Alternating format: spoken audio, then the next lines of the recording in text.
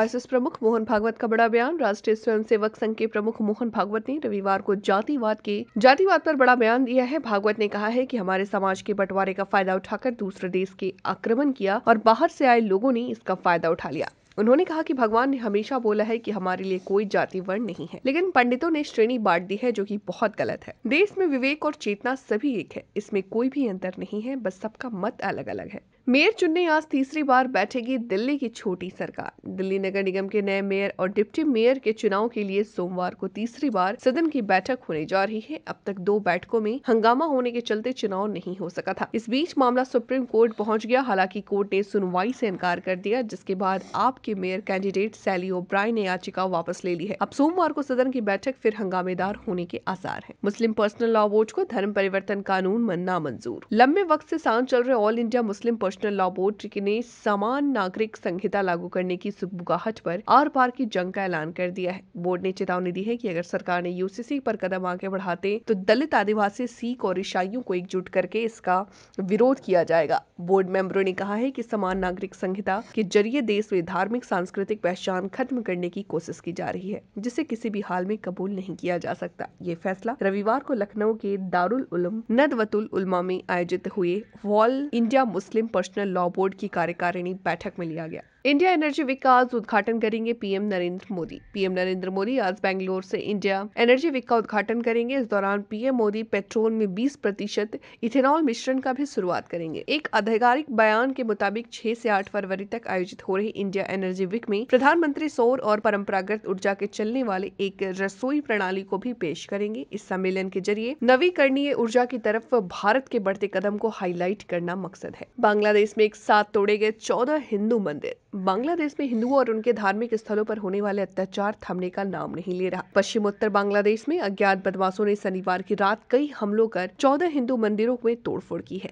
Police ने रविवार को बताया कि ठाकुर गाँव के बलिया डांगी उप ज़िले में एक हिंदू समुदाय के नेता विद्यानाथ बर्मन ने कहा है कि अज्ञात लोगों ने रात में हमले को अंजाम दिया और चौदह मंदिरों की मूर्तियों में तोड़फोड़ की। कई महीनों से बांग्लादेश में हिंदुओं और उनके धार्मिक स्थलों को लगातार निशाना बनाया जा रहा है। सिद्धार्थ कियारा की शादी में मेहमानों का हजुम। सिद्धार्थ, मल्होत्रा और कियारा अडवाणी सात फरवरी को शादी के पवित्र बंधन में बन जाएँगे। राजस्थान के जैसलमेर में इस कपल की रॉयल शादी होने वाली है, जिसकी तैयारियाँ शुरू हो चुकी चुकी है, उनकी शादी के कई वीडियो अब तक सामने आ चुके हैं। कपल के संगीत नाइट का पहला वीडियो भी सामने आ चुका है। सिद्धार्थ मल्होत्रा और कियारा आडवाणी की शादी में पूरा बॉलीवुड शामिल होगा। करण जौहर, मनीष मल्होत्रा शाहिद कपूर और बाकी सेलिब्रिटी रविवार की दोपहर जैसलमेर पहुँच गए। कियारा आडवाणी की खास दोस्त कही जाने वाली ईशा अम्बानी भी इस शादी की अटेंड करने वाली है। मेहमानों के स्वागत के लिए राजस्थानी फोक डांस आर्टिस्ट का अरेंजमेंट किया गया। ग्लोबल ऑयल मार्केट का सरताज बनता जा रहा रहा है भारत। भारत अधिक से अधिक सस्ता रूसी तेल खरीदकर ग्लोबल ऑयल मार्केट में एक महत्वपूर्ण भूमिका निभा रहा। भारत सस्ता रूसी तेल